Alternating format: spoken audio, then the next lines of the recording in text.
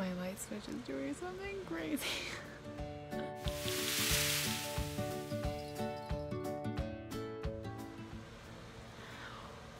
so I tried to have some more light on in the background, but for some reason it's not working. So it's gonna be a little dark and dingy, and it's gonna be a little low tech because we're doing a chatty folding laundry vlog style chat. I don't know. Um, I just want to talk about like, so I have not been posting on my, ooh, I messed that up. So I have not been posting on my daily challenge every day. I, have missed the last two days, I think. Um, and I just kind of wanted to touch base on why. Um, so one, my son ended up going to the ER. He's fine, by the way, like totally fine. Um, he just hurt his elbow, and my husband actually popped it back into place. That's a whole nother story, but that's my husband for you. um, and we are um, just going through a lot of different things right now. Thanksgiving's coming up, and the holidays, and you know, I just kind of have gotten my anxiety has gotten to a place of level 10, level 12, really bad. And I'm somebody who, if I don't take the time that I need to take care of my anxiety and mental health and emotional health, that my whole, my health, my physical health, my spiritual health, they all suffer. And so, um, and my family suffers. So a lot of moms actually have this weird notion of I have to be everything for my family all the time. And I have the a notion of I have to take care of myself before I can take care of my family. Um, and I have a video coming out about um, how emotional, physical, spiritual, and mental health all come together and they're all like you have to have balance in those things because without one they're kind of like you guys you know those guys with the plates that are spinning you have too many plates that are spinning and then you try to focus on one but the other one falls that's kind of what like having too many things going on at once does for me and they all just kind of crash and burn. Um, so these last couple of days I've taken some emotional and mental health days and physical health days because when I get so anxious I actually start having flare-ups with my UC and I lose my appetite because it makes me so nervous and anxious and that is really bad because I used to struggle with an eating disorder and I it was a really dark time in my life it had nothing to do with like um, body image issues like I think every person not just women not just men but every person has body image issues. Like everybody has insecurities, everybody has things they don't like about themselves. But for me, it was more of I wanted to be perfect. There was this idea of perfection I had that I wanted to reach, but it was an unrealistic expectation because perfection does not exist. And so when I lose my appetite from anxiety, it's kind of like poking the bear and I have to take care of my emotional and physical and mental health above everything all the time. So I think I took two days of not posting the gratitude challenge. Doesn't mean I wasn't grateful. I try to live my life as a life of gratitude. But I also believe wholeheartedly you have to take care of yourself because if your cup was empty, then you can't give to others. And I have two people who depend on me to give to them, just like I depend on him to give to me. And so I just took a couple days to myself. And sorry, I put all of my hanging up stuff over there so I can hang it up later. Um, but so that's what I was doing for myself. I was taking some time. Um, I have a video coming out about um, how actually mental, physical, emotional, and spiritual health all go together. And I think it's important to be aware of your of when you're struggling. Um, and it wasn't like I'm, oh, poor me, I'm struggling. It was a, I'm noticing that I'm poking some bears and I am not living to my fullest happiness and I need to check on that. And I think that's really important as women and as people that we remind ourselves to do that, especially as moms, because all day, every day, we're giving to somebody else and we kind of forget to take care of ourselves. And for me, I can't do that because when I have a UC flare up, it puts me down, like down and out for the count. And I can't do that. I have a lot going on. And so I just decided to take one step. I decided to take steps back on what I could take step back on. And that was uh, posting every day. And also, I usually work out every single night. And I took a couple days off of that as well because I needed to go to bed and get the sleep and the rest that I needed.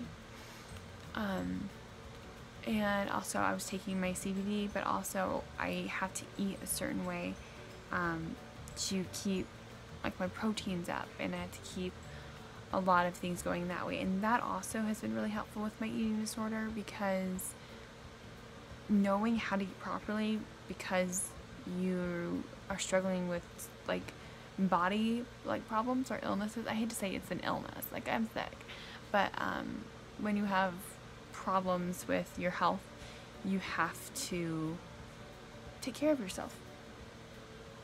And so I've been doing that. I've been taking care of myself. I've been eating properly, and I have been really watching. Um, I've been journaling a lot and really watching things that uplift my soul and feed my soul. And I think that we need to remind ourselves to do that, like do the things that also feed our souls. Um, so that's kind of like where I've been. But I think um, the two two days I missed were like laughter and liquid. And what's funny is like I can't really do a whole video on, on liquid. I could do a whole video on coffee, and that's the liquid I'm thankful for.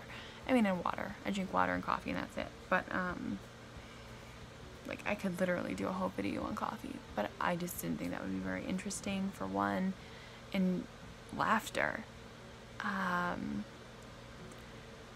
the person that I laugh most with is my husband. He's hilarious. Like at the end of the day, Joe and I are best friends first, no matter what. Um, and we actually fell in love really slowly by being best friends. um, I was going through a really hard time, and so was he, and we just helped each other through it by laughing.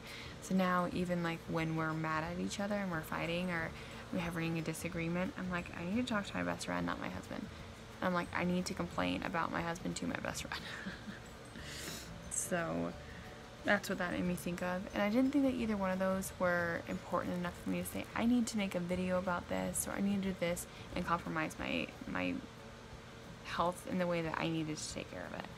Um, so like all those things are included in this and I'm really happy I got to sit down and talk to you guys. But also like I wanted to just make sure that I touched base on like my own like for my own self because I was journaling today and I was trying to make sure that I was on the right track of doing what I need to do for me. And I was like, you know, I think that I should probably make a small video on this because I think that a lot of people forget to take, check in with themselves and make sure that like they're doing okay. And so, you know, I just think that that's a really good thing to do. Like you can like it can be casual. It can be really easy and just be like, "Hey, how's my mes- how's my mental health going today? Am I struggling with any anxiety? Am I struggling with any sadness? Is something going on in my life that's not is contam is contaminating to my situation, or is it contributing to my happiness? And I think that that's really important to learn. Is there anybody who's toxic in my life who is creating an environment that's actually unsafe for me, um, mentally, physically, emotionally? Um, and then you know go down the line of like, well, what can I do to improve this? Or ask yourself questions and check in with yourself. Um, my husband was a missionary and he set compa- companionship inventory. They would talk about like what's going on in their companionship. And um, for me, we kind of do that. He and I do that like within our marriage, but also within ourselves. We're like, what's going on with me today? Where can we improve, and where can I like let things a little bit go on? So um, I encourage you guys to kind of learn to do that with yourselves because I've noticed a huge difference in my health with that. I'm also going to do a video on my um, ulcerative colitis and how it has affected my health and actually pretty much saved my life because when I um, got diagnosed, I was I had a severe eating disorder and if I wouldn't have gotten that diagnosis, I would have never had the wake up call to stop doing what I was doing and make healthier choices. Um, also, if I had a, when I was having relapses, um, the thing that also helped bring me back was when I was pregnant with my son. Um, I was like, there's no way that I'm going to not either not be there for my son, one, and two, um, put his health in jeopardy when I was pregnant with him. So when you check in with yourself and you're making sure that you're on the right track, you actually tend to usually save yourself in a little bit. Like whether it be me, like being dramatic, or um, like emotionally said, you know, I'm saving myself from a situation that causes me harm. So I know this is pretty chatty, and it's a long. Oh, sorry, I have the TV going on in the background. I'm watching E News.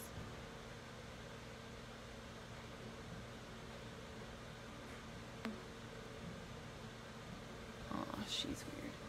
Um, people are gonna hate this, but I do not enjoy Cardi B. Anyway, I always digress.